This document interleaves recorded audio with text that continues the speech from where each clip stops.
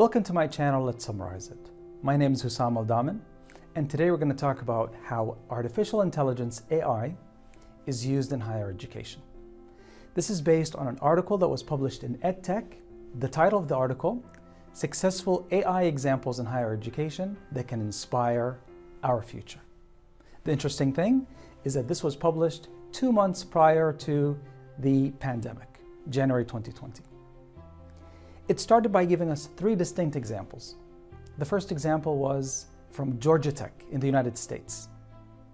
Now, this is where an AI master's level class was taught by a professor who usually gets 300 students per semester in that class.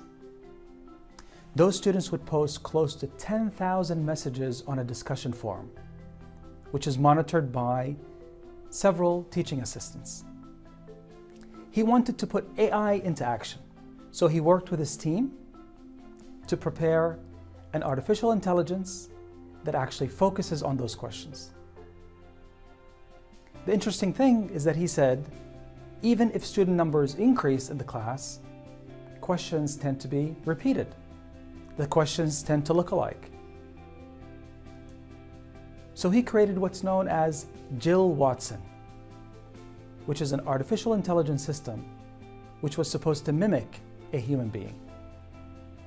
They provided Jill with thousands and thousands of questions and their answers from prior semesters.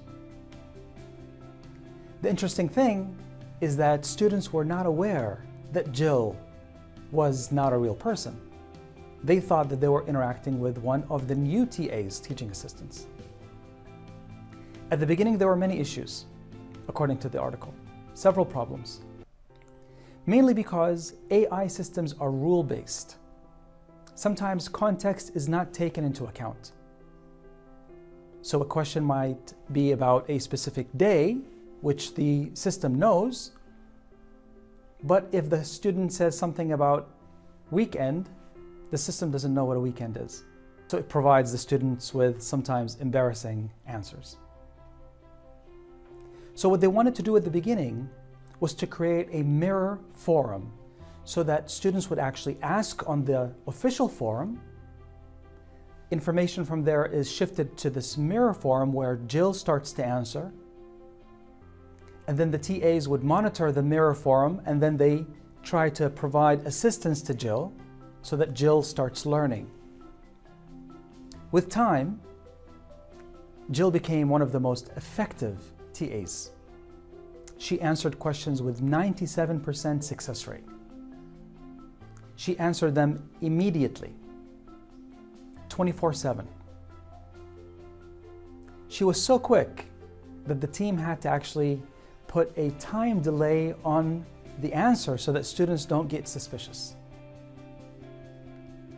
However, as per the article, Jill and other artificial intelligence systems provide answers to frequently asked questions, repeated questions. However, they cannot motivate students, nor can they help them with specific step-by-step situations in their homework or coursework.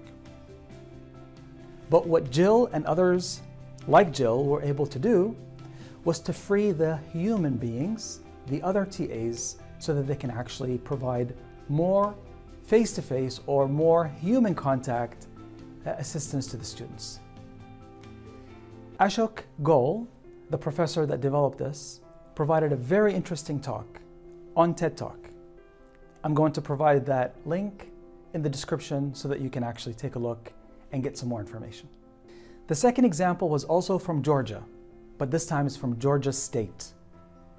Now this is where the university faced a problem, where students would actually enroll in the spring so that they can actually begin classes in the fall. So we're talking high, high school students that apply to the university in the spring, they're accepted, but they can only begin in the fall. So between the time they're accepted and the time they begin, some of them that just don't show up. This is known as a summer melt, where students change their mind for reasons that became very clear to the university later on. So what the university wanted to do was it wanted to provide information to those students, to talk to them in a way that they understand. It developed a chatbot to provide online conversation with those students. Now, a chatbot is a software used for this kind of conversation. It could be text to text or text to speech, and they often mimic live human agents. Examples of chatbots are available all over the place.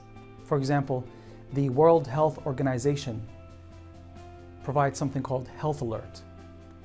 Kia, the car maker, provides something called Kian that provides also answers to people that have questions about the cars.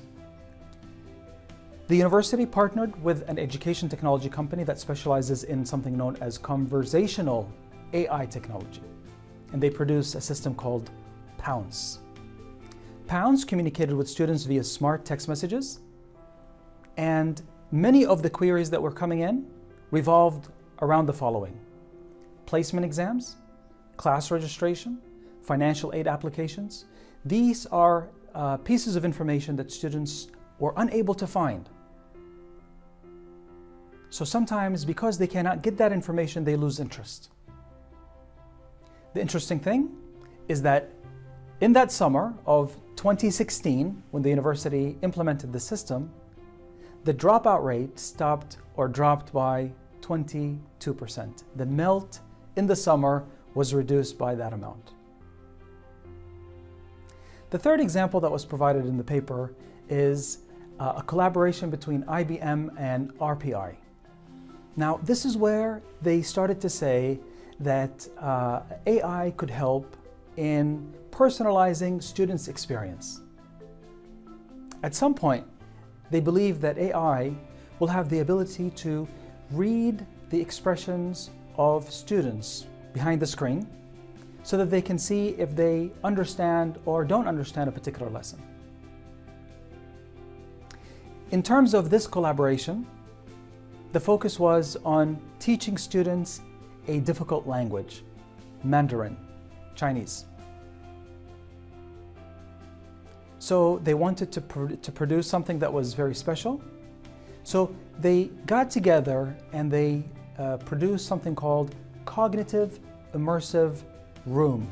Now, this is where students can actually have a real life experience through AI and they can enter a room that can actually look like a Chinese restaurant, a Chinese garden, a Chinese market. And then they can actually ask questions and interact with these people that, of course, are not real. What we know so far is that AI works very well with rule based subjects because it follows a decision tree. If you want to find out more about this partnership between RPI and IBM, I have left you a link provides more information about this. Before I leave you, I would like to ask you to take a look at the following. What do you think about artificial intelligence replacing Dr. Husam? If you agree, then the channel will become Let AI Summarize Ed. That would be funny Dr. Husam. What do you think? Do you agree? Before we leave, let me give you my opinion and let's hear yours. My take on AI is very simple. I think it's here to stay and it's going to evolve. If we like it or if we don't like it, it's here to stay. However, what we need to do is we need to actually begin the conversation within higher education, not with corporations that are specializing in these items. We need to explain to them exactly what we need so that they can actually help us in filling in these gaps. And at the end of the day, these are systems that are supposed to free up human elements, professors, TAs, counselors, so that they can provide the more important counseling and information to students. Because it's through that cognitive interaction that students learn.